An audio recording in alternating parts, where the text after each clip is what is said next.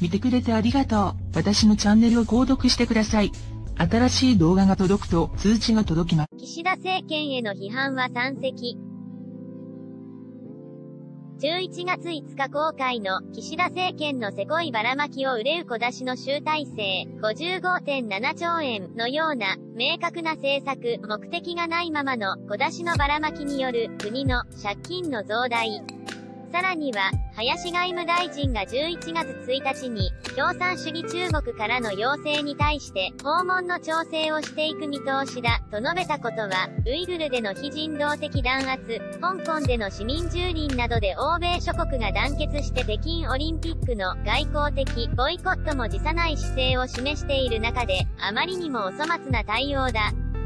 しかも、中国の女子テニスプレーヤー、法措置選手の告白とされる、中国の張高麗前副首相から性的関係を強要された、という文章がネット上に公開され、その後彼女の安否がわからない状況が続いている。IOC のバッハ会長がビデオ通話で安否を確認したというが、WHO 事務局長のテドロス氏同様、中国の番犬とも評される同士の証言に信憑性はない。思い起こされるのが、反体制的な本を扱ったため、香港で拉致され中国本土で8ヶ月にわたり拘束されていた、ドラワン書店の林英樹店長の事件だ。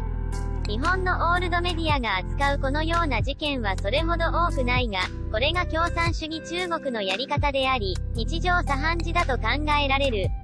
さらに、日本の外務大臣に訪中を要請しているにもかかわらず、領海侵犯行為をやめない、巷で言う、米国にも中国にも門戸を開く、二股戦略は決して悪くはないが、中国への門戸は、勝手口、裏口に限るべきである、表玄関を絶対に開けてはいけない。そんなことをすれば、日本が中国の人権侵害を容認した、と世界中から非難される。少なくとも、現在の共産主義中国には、勝手口で十分である。長年にわたって軟弱かつ曖昧な対応をしたおかげでかえってもつれてしまった韓国との関係は、戦略的放置を徹底することにより現在増しになっている。少なくともルールを無視した理不尽な要求にいちいち対応する手間を省くことができているのだ。